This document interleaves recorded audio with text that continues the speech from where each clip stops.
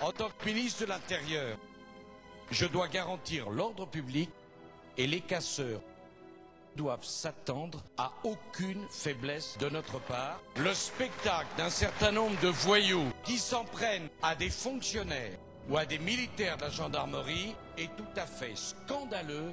Je connais cette créature. Elle régnait autrefois dans une contrée lointaine. Nous soutiendrons le gouvernement parce qu'il nous écoutera et il nous écoutera parce que nous le soutiendrons.